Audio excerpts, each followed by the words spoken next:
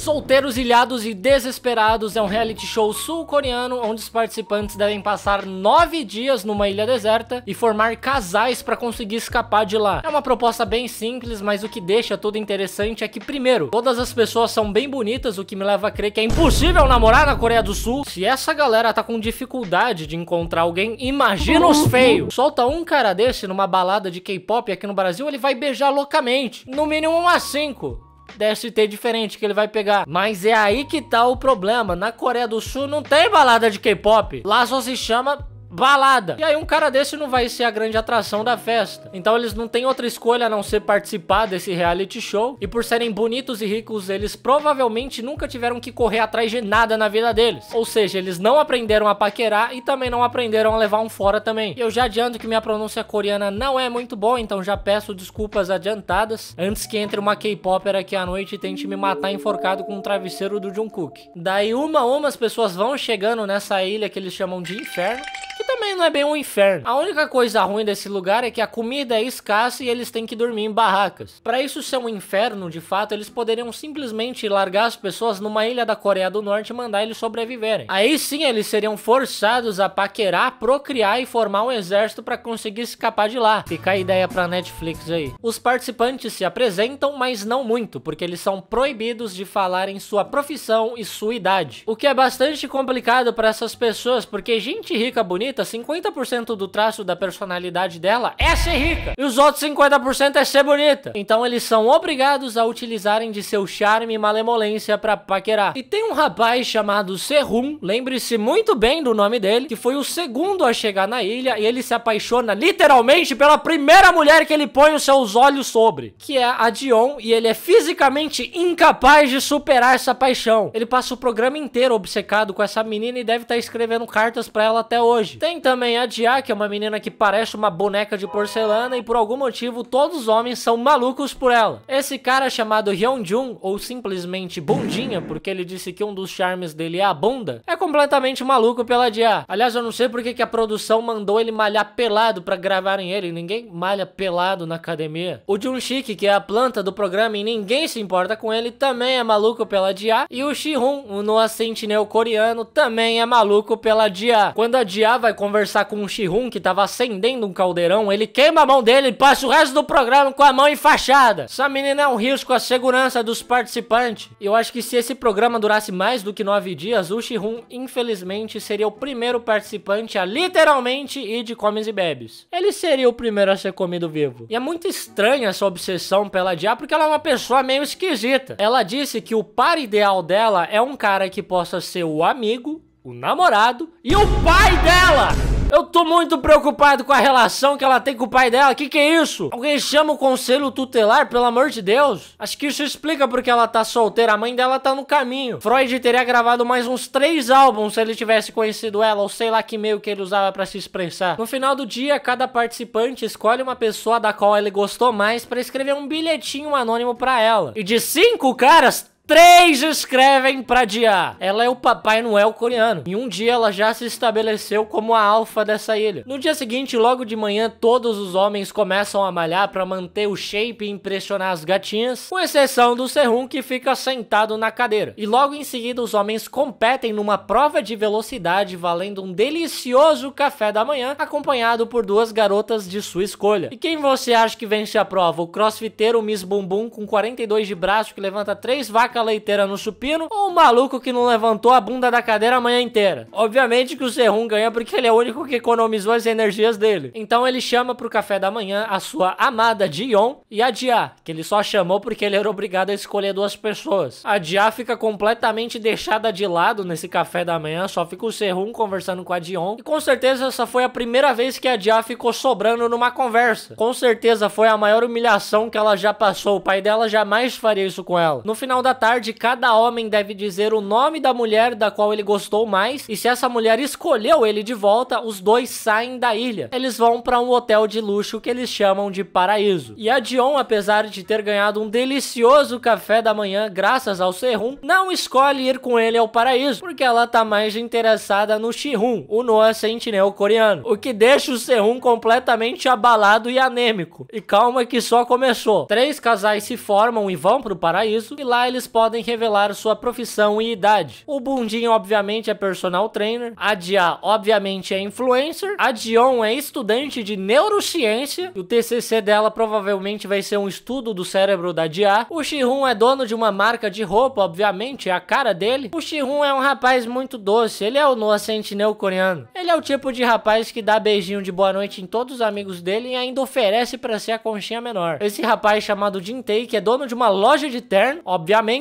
Isso explica porque esse imbecil veio de terno numa ilha no meio do verão. E a moça chamada Soyeon é dona de uma academia de boxe. E no começo todo mundo torce pela Soyeon e pelo Jin Tae, porque eles combinam muito. Eles parecem muito um casal de agiota. Eu consigo imaginar perfeitamente o Itaú contratando eles para virem me bater porque eu não pago a fatura há cinco meses. Em pleno 2023, o ano da saúde, ainda tem homem que não começou a cuidar da própria autoestima. Ainda tem gente achando que calvície não tem solução. E é porque eles ainda não conheceram a Manual.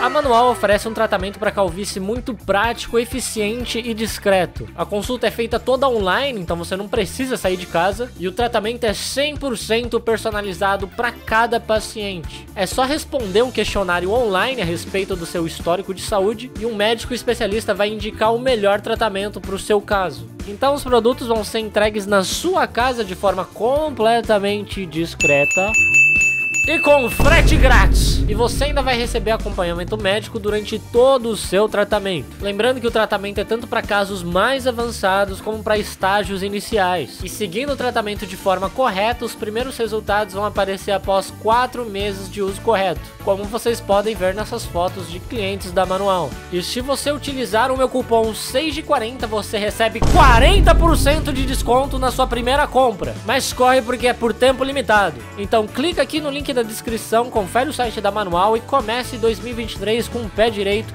cuidando da sua própria saúde. Mas enfim, nada acontece nesse paraíso também, eles só comem, conversam e dormem. E é exatamente por isso que eles estão solteiros, eles não são nada ligeiro. Como que não tem uma menina fazendo um mapa astral? Como que não tem um cara falando da ex que ele nunca superou? Parece que nunca flertaram. Enquanto isso, as pessoas que ficaram na ilha, no inferno, começam a entrar em desespero, porque eles nunca levaram fora na vida. E o Serrum é visivelmente o mais abalado e mal ele sabe que a sua jornada de incansável sofrimento está apenas começando. No dia seguinte, os casais do paraíso voltam ao inferno e dessa vez as mulheres competem para ver quem vai ganhar um café da manhã especial. A Sonyon ganha com extrema facilidade, até porque é um jogo completamente desbalanceado. A Sonyon provavelmente consegue matar 90% dos seres vivos dessa ilha, mesmo que ela não encontre um par para fugir da ilha, ela consegue sair a nado. O Serrum vai logo conversar com a Dion, perguntar o que rolou no paraíso, muito preocupado com a possibilidade dela ela ter dado as mãos para outro cara. No final da tarde, eles novamente escolhem uma pessoa com a qual eles gostariam de ir ao paraíso. Novamente, eles precisam se escolher para conseguir ir juntos, mas dessa vez os casais que já tinham ido não podem escolher a mesma dupla. E essa é finalmente a chance do Serrum de ir com a Dion, ou pelo menos foi o que ele pensou, porque ele não poderia estar mais enganado. A Dion escolhe ir com o Jintake, com o qual ela trocou meia dúzia de palavras. Ela preferiu escolher este homem com cara de mafioso que ela não sabe nada sobre, que ela nem tinha certeza que iria escolher ela de volta, do que com o Serrum, que era garantido que ia escolher ela e era garantido que ela iria pro paraíso. Lembrando que assim, é muito ruim estar no inferno porque tem pouca comida e você dorme no chão. E pro paraíso é maravilhoso, mesmo que você vá com alguém que você não goste tanto assim. E mesmo assim, ela preferiu arriscar ir com outro cara do que com garantido o. A essa altura já tá muito mais do que claro que a Dion não tem interesse algum no Serum.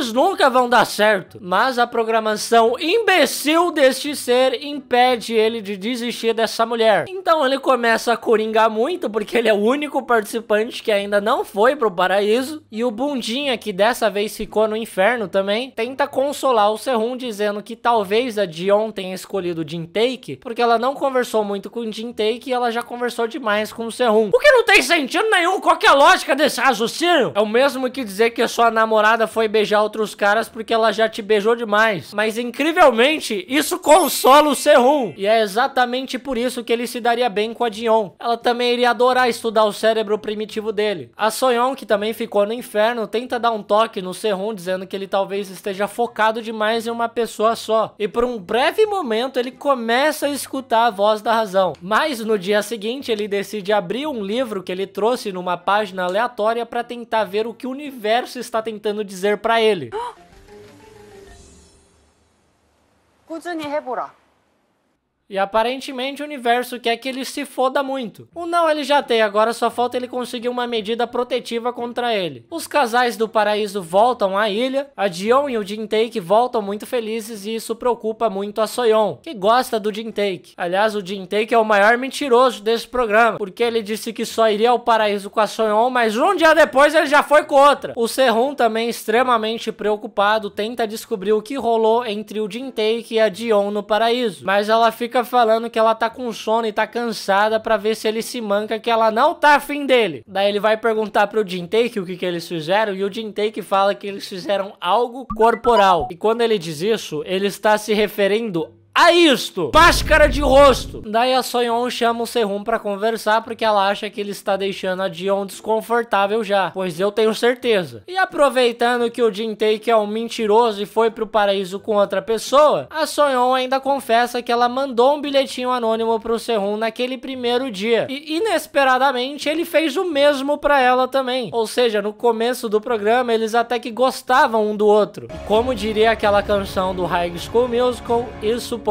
ser o começo de algo novo. No dia seguinte, um novo horizonte de possibilidades parece se abrir diante do nosso guerreiro Serrum, mesmo ele não tendo feito absolutamente nada para merecer isso. Com a chegada de uma nova participante, a Sumin, o Serrum se anima muito ao conversar com ela, e quem diria, ela também parece gostar de conversar com ele, mas é porque ela ainda não viu a falta de dignidade e amor próprio dele. No quinto dia, Soyeon vai conversar de novo com o Serrum sobre sobre a conversa que eles tiveram anteriormente, e o Sehun confessa que ele ficou meio chateado. O interesse da Sonyon não parecia muito genuíno porque ela só foi falar daquilo depois que o Jintake foi pro paraíso com outra. Alguém ficar comigo por pura falta de opção era o meu grande objetivo na adolescência. E bem no meio dessa conversa extremamente desagradável, os participantes são chamados para se reunirem em frente à fogueira. E mais duas pessoas chegam à ilha, a Minji e o Cha Hyun-sun. E assim que eles chegam, os novos novos participantes têm o direito de convidar quem eles quiserem para um passeio de barco. E pasmem, o impossível aconteceu! A Mendy também gostou do C1 e escolheu ele. Na verdade, não é surpresa nenhuma que as únicas pessoas que gostam dele são as que não conviveram o suficiente com ele ainda. Se vissem o quanto ele se humilha por alguém que não quer ele, perderiam tesão na hora. E a Sumin fica meio bolada pela Mindy ter escolhido o Serrum porque ela também queria ter escolhido ele. O que tá acontecendo? Doutor Estranho errou um feitiço e por algum motivo nessa linha do tempo tem não uma, não duas, mas três mulheres interessadas no Serum. O mesmo miserável, patético, sem orgulho nenhum, Monserrum. No passeio de barco, Serrum descobre que a Mindy é o completo oposto dele. Ela ama videogame e ele odeia. Ela gosta de rap e ele não gosta. É óbvio que o Serrum odeia tudo que é divertido. Mas isso é bom também porque essa Mindy é completamente maluca. O jogo favorito dela é Overwatch e isso era em 2021, quando o jogo tava completamente abandonado. Só doente jogava. Mas talvez seja por isso que ela goste do Serrum. Ele é o Overwatch desse programa. Enquanto isso, os outros solteiros ficam felizes da vida que o almoço vai ser miojo. A comida no inferno é tão escassa que para eles um Nissin é um banquete. Depois, os novos participantes escrevem bilhetinhos anônimos para a pessoa da qual eles gostaram mais, igual os outros fizeram no primeiro dia. Mas dessa vez, os que receberam bilhete nem chegam a ler, então não sei por que eles fizeram isso. Por conta disso, o Serrum não fica sabendo que as duas novatas escreveram para ele. Eu tô achando que o programa simplesmente não quer que o Serrum Serrum seja feliz. Acho que esse programa, na verdade, é um experimento social para torturar o Serrum por nove dias e descobrir se ele não é um espião norte-coreano. Porque não é possível também alguém ser tão trouxa na vida real. Esse cara deve ser um personagem. No sexto dia, os homens competem entre si, valendo três vagas para o paraíso. Ainda bem que eles se alimentaram muito bem no dia anterior com miojo. A chance de alguém virar NFT no meio dessa prova é quase 100%. Enfim, a prova é basicamente uma banheira do Gugu. Porém gay. É a banheira do Gugu que o Gugu gostaria de ter tido a liberdade criativa de realizar e participar. Depois de muita batalha, o Hyun-Sun se consagra em primeiro lugar. Surpreendentemente, o Zehun fica em segundo. Não me pergunte de onde ele tirou essa vontade de viver de repente. Esse cara passou o programa inteiro só o pó da depressão. E o Jin Tae, o infiel, fica em terceiro. E nessa mesma ordem, eles podem escolher uma garota para levar ao paraíso. E dessa vez, não é consensual, ela tem que ir mesmo que ela não queira. Primeiro eles lutam entre si, depois sequestram mulheres. O programa foi escrito pelo Andrew Tate. Daí as mulheres se revezam para conversar um pouco com o novo participante, o Hyun Sung, que venceu a prova, enquanto a Sumin chama o Sehun para conversar, o que não dura muito tempo porque a Minji logo aparece para empacar eles. E um clima horroroso se instaura na hora. A insistência da Minji no Sehun é algo surreal, mas faz um pouco de sentido. Se ela não desistiu do Overwatch em 2021, ela não vai desistir dele. E acho que o Serrum nunca imaginaria que ele seria o cara que teria que escolher alguém. Não tem nem roupa para isso. Depois de muito debater internamente sobre quem ele deveria levar ao paraíso, entre Sumin, Minji ou talvez até a Soyeon, o Serrum finalmente chega a uma decisão e leva a Dio! Ele leva a Dio! Obviamente que ele ia fazer isso. Por que, que a gente achou que ele faria algo diferente? Quão tolo nós fomos de acreditar que este cidadão iria se mancar. Agora que ele tem a oportunidade de tomar uma decisão unilateral, é claro que ele escolhe a Dion. Enfim, o que o infiel, leva Soyeon novamente, apesar deles não estarem nos melhores termos. E o Hyun leva a Dia, porque ele já conhecia ela antes do programa. Ele também conhecia o Bundinha, porque eles malhavam juntos. E agora os dois gostam da mesma garota. O clima na academia vai ficar maravilhoso depois desse programa. Porque a Dia disse que o Hyun Sun é o cara que mais se aproxima do tipo ideal dela. E agora ela tá dividida entre dois. Um desses caras e o pai dela. E apesar de desafiar tudo que faz sentido e desafiar todas as leis que regem o nosso universo. A Tion até que se diverte com o Serru no paraíso. E obviamente ele tem o melhor dia da vida dele. Quando eles voltam para a ilha, dessa vez é hora das mulheres competirem por três vagas pro paraíso. E o traiçoeiro destino coloca Dion para jogar contra Mindy, que passou a noite inteira emburrada porque o Serrum não escolheu ela. E elas disputam essa prova como se tivesse valendo um Chevrolet Onix 2017 rebaixado. A Mindy a gente já sabia que era uma pessoa competitiva por conta do seu gosto por videogame, mas a Dion foi uma surpresa ter levado aquilo tão a sério. Acho que ela queria muito humilhar uma gamer. Enfim, a Sumin fica em primeiro, a Sonyon fica em terceiro e a Dion fica em segundo lugar, vencendo a Mindy que tava por essência do ódio e da maldade. A Sumin, apesar de ter gostado do Serrum, ao contrário dele, ainda possui um pouco pouco de dignidade e vendo que ele não gosta dela de volta, escolhe o Shihun para ir ao paraíso com ela. Nosso Noah Sentinel coreano. Nosso pequeno floco de neve. Ele parece um floco de neve. Já a Dion indo contra toda a ordem natural do universo, contra todos os fundamentos que sustentam nossa realidade, indo contra tudo que nos ensina a Bíblia, escolhe o Serrum para ir ao paraíso com ela. Acho que nem a mãe do Serrum acreditava que ele seria capaz disso. A Sonhão Dion vai uma terceira vez com o Jintake no paraíso. O Jintake e a Dion foram os únicos que foram em todos os paraísos desse programa. Já foram mais vezes que o Goku e a Laura do 365 dias. E enfim, chega o último dia do programa. As mulheres se posicionam em lugares diferentes da ilha e os homens devem ficar ao lado daquela mulher com a qual ele gostaria de escapar do inferno juntos. A mulher, por sua vez, pode dar a mão ao homem ao seu lado e escapar juntos, ou ela pode escolher ir embora sozinha, deixando o cara para morrer de fome na ilha. O Junshi, que é a maior planta deste programa, que não fez absolutamente nada de relevante e foi lá só para passear, escolhe a Yeewon e os dois vão embora juntos de mão dadas. Eu não falei da Yeewon, mas ela é uma pessoa muito carismática, muito simpática, que merecia participar de um reality melhor. O Jin Tae escolhe a Soyeon e eles vão embora juntos, apesar dele não merecer, porque ele é um grande mentiroso, e eles vão juntos trabalhar trabalhar no Nubank cobrando dívida. O Bundinha, o Hyun-sun e o Shihun escolhem adiar. O Shihun é outro imbecil, porque ele poderia ter escolhido o Asumin, que gostou dele. E ele nunca foi uma opção pra adiar. Sei lá o que, que nosso Noah Sentinel tem na cabeça. E adiar, nossa participante favorita de Freud escolhe ir embora com o Bundinha, deixando o Hyun-sun e o Shihun sem ninguém. A Sumin e a Minji não são escolhidas por ninguém também. Elas foram ali 100% só pra serem humilhadas. Não precisava disso, seria muito melhor ter ficado em casa. Mas acho que o jogador de Overwatch não consegue ter uma felicidade mesmo. Pra elas, o verdadeiro ilhados, solteiros e desesperados foram os amigos que elas fizeram pelo caminho. O Serrum, logicamente, escolhe a Dion mas a Dion não escolhe ela de volta. Ela vai embora sozinha. Ela é mentira, ela escolhe o Serrum. Tô tentando me enganar. Eu tô tentando me iludir, mas ela foi embora com ele de mão dada. Nada faz sentido nesse reality show. É isso, a conclusão que eu tiro é não desista do seu sonho. Se o Serrum consegue, você também consegue. É isso aí, muito obrigado por assistir esse vídeo. Deixa o gostei aí, se inscreva e deixe nos comentários mais sugestões de vídeos. Até a próxima.